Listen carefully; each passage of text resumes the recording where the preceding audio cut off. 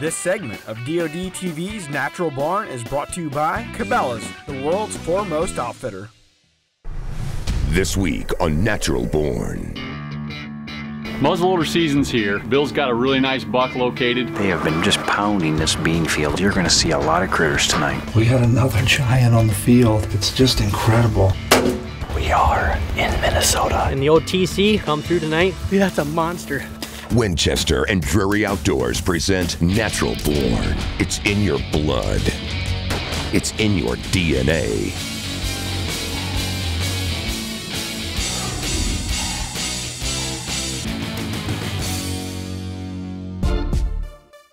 It's late season in Iowa, and cast member Bill Gadient is hoping to end a three year buck drought.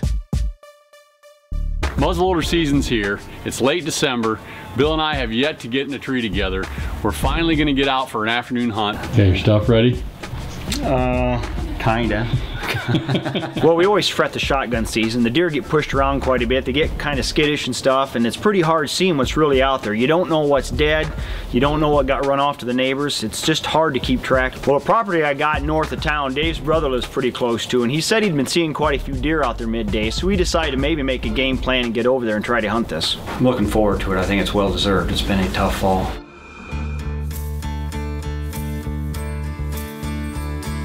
With the drought conditions we had this year, the bean pods were a little closer to the ground. Farmers had a harder time harvesting. In turn, it made these late season bean fields a really good food source and it really pulled the deer in. Well, as luck would have it, when we got there, they were already out in the field eating. We just carefully slipped ourselves into place. I had a temporary blind set up already, and we, we did pretty well getting in there.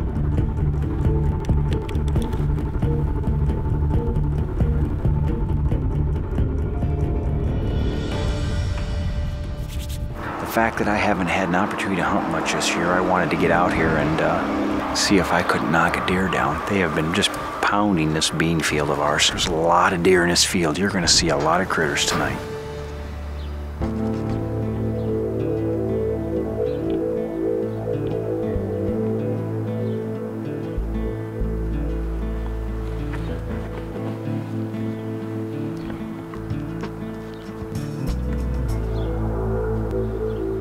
Well, although I was running a camera all summer, I really had no pics of bucks that I wanted to shoot. But fortunately for us, once this cold weather set in, a lot of mature bucks had moved into the area and we're using this field as a food source. Bill's been watching this field regularly and there's a particular eight point that's been showing up nightly. Deer are pouring out of the timber. We saw a couple nice bucks early. About four o'clock, we look across the field and here he is. He steps out, he's coming right to us. He's got pretty good eye guards, man. I seen him uh, Christmas Eve night. Actually, I come come out here watching, and I seen him. Well, these deer, they were in and out and back and forth. They were kind of skittish, moving around a lot. Anytime a vehicle would drive down the road, they'd take off, and then they'd eventually work themselves back out. Well, here it is about 4.30, and little four point comes walking in, walks right into 10 yards, straight downwind of us, turns and runs away and takes the whole herd with him. We think we're done. They all run to the far end of the field and they start feeding. Nice. That's just awesome. Obviously, he didn't like it.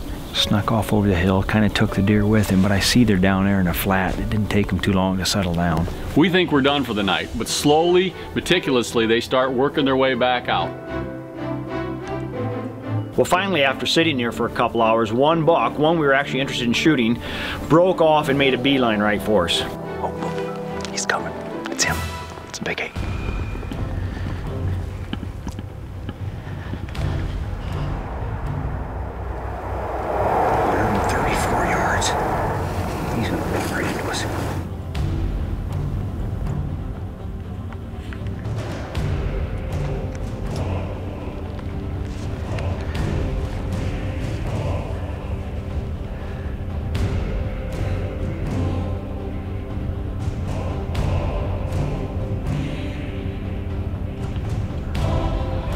This buck was quickly closing the gap, and I was actually getting concerned that he was going to get too close.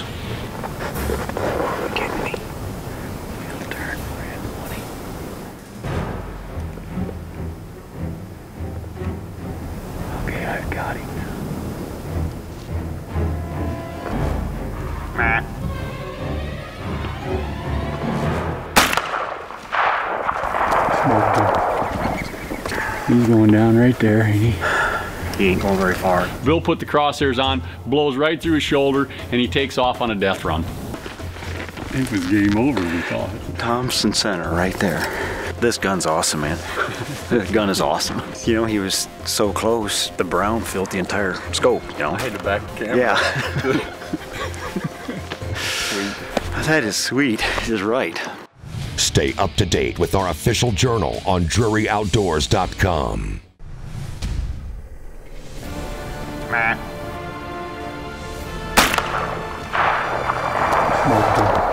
See what I see? There he is, right there. He didn't go 150 yards. Oh, we know this buck. Called him Roman because he had that big old Roman nose on him. Look at that. Holy cow, yeah, Is he that does. different? I got pictures of him just right down the corner there. Almost looks like it's broken. Yeah, got good mass, beautiful buck. Well, we wanted to get back out here this morning and take a good look at this buck. It got late on us last night. I gotta admit, I'm pretty proud of this deer. He's by no means the biggest deer I've killed over the years, but uh, I've had a pretty tough stretch here the last few seasons and it felt really good.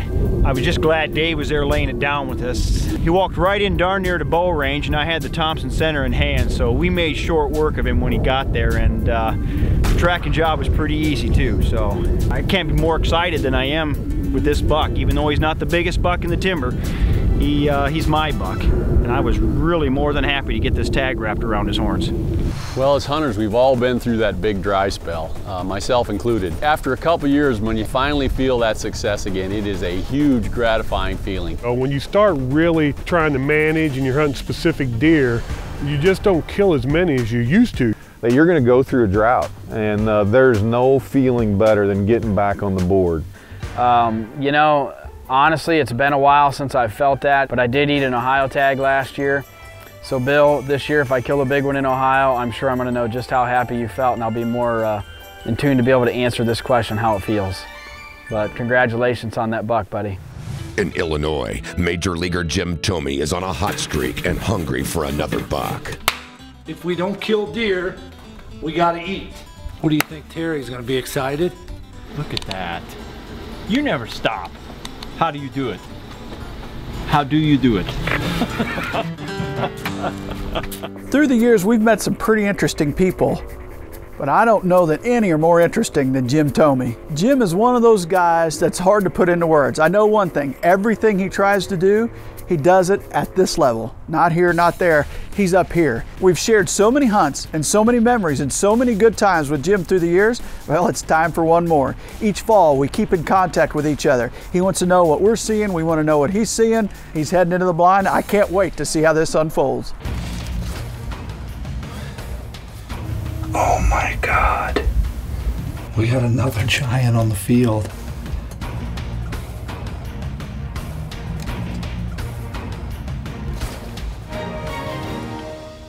Basically, what tonight has been is what we call most MRI, most recent information. You know, our muzzleloader season starts tomorrow, so basically, you know, we've got a 170 plus inch eight pointer that basically is coming through here, and uh, man, what a magical night! I mean, our last two nights have been just absolutely incredible. It's been very, very worth the sit, no question.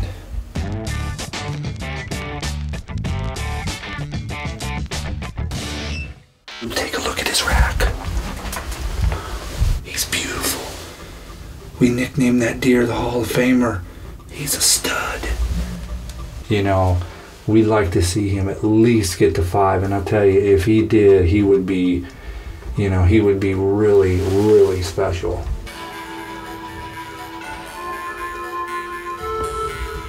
He's 60, 60 something.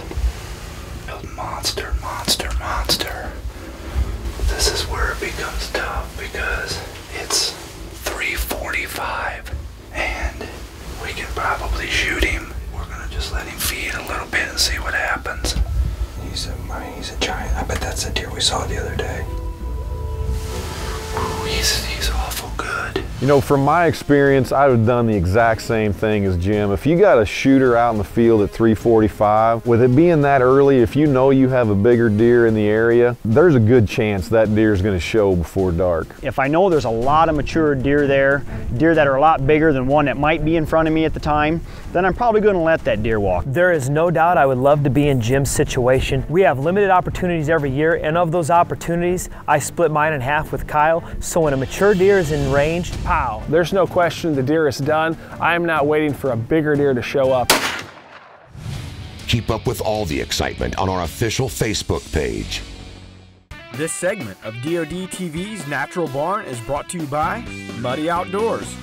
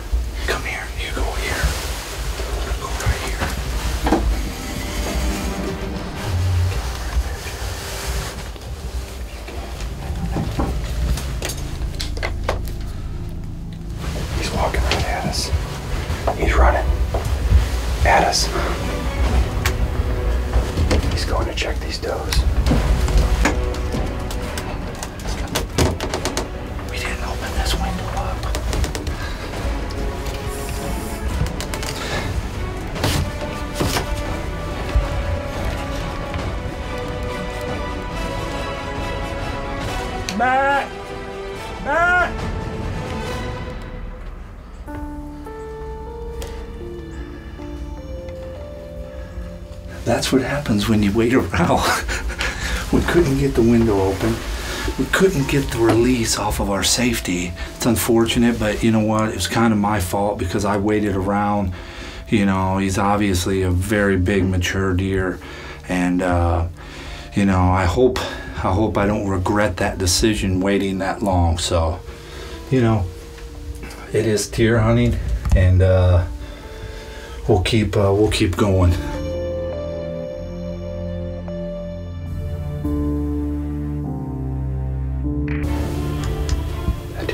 60s, 70s. Easy.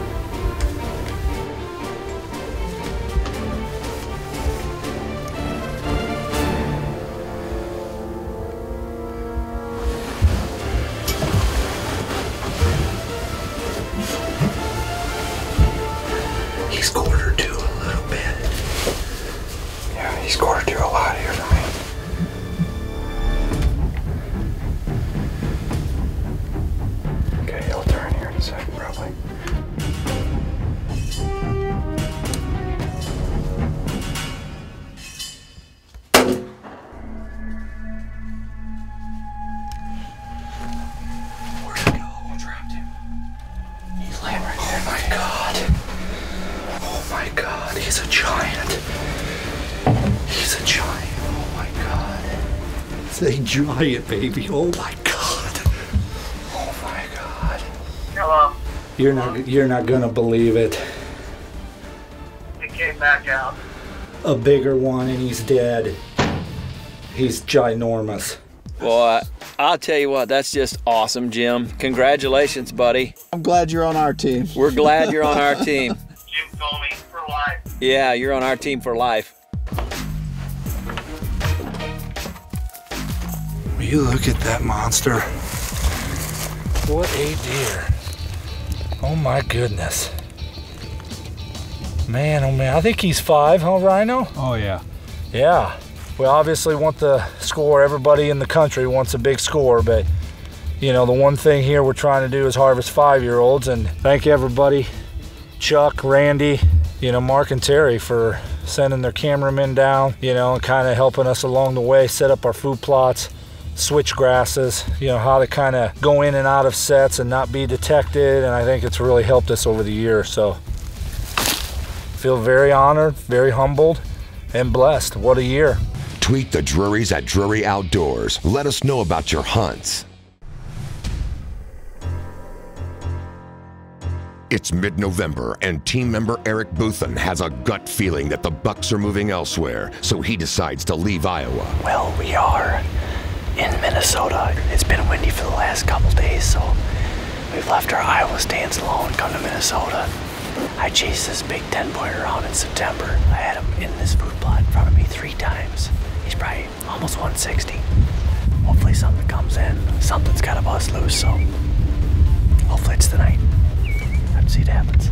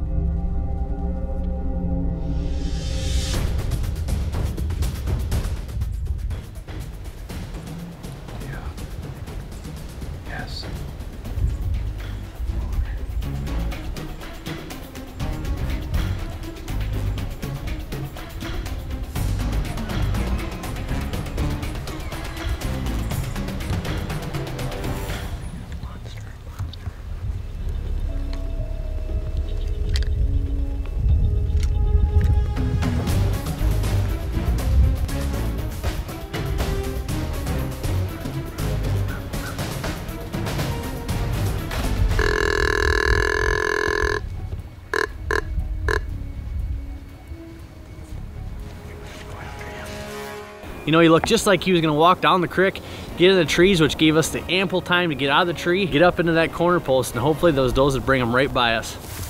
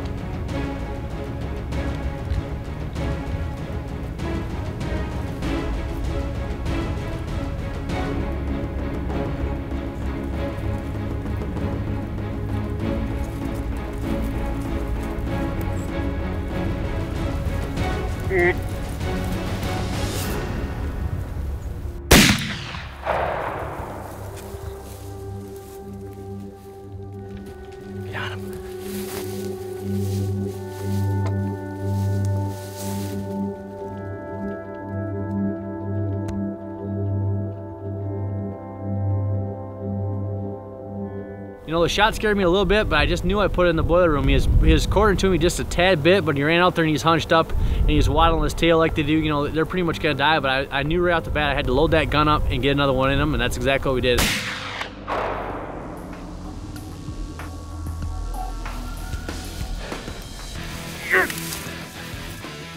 First muzzleloader buck ever. Dude, that's a monster. That is a monster. Guaranteed Booner. And that is a monster. We worked hard for that deer. We were sitting in that cedar tree by the house. He come off the hill, come in here, chasing those. We thought we lost him. Calm down. Thought we lost him. We snuck up this fence row, and sure enough, he was over there. And chased those over here, and a doe come right down here, led him right to us, shot him at 50 yards. Monster. Absolute monster. Oh my goodness. Yeah. What an absolute picture perfect hunt. Never seen this deer before. We're in southeast Minnesota and this is a monster. My biggest buck in Minnesota and first buck with a muzzleloader. In the OTC, come through tonight and I couldn't be a more happier guy. You know, it's just an awesome deer to shoot one in your home state where you're actually born and raised from. I live in Iowa now, but this is an absolute monster Minnesota deer. Next week on Winchester and Drury's Natural Born. We're gonna head west until we can find the sun and hopefully some beautiful Nebraska turkey. You can't get turkeys any closer. We've been to Wyoming a couple times whitetail hunting, but never mule deer or antelope. Table Mountain Outfitters, day one. now that's what I'm talking about.